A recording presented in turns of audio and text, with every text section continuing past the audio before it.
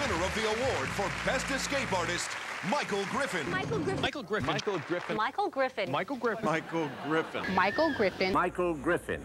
Do with me what you will.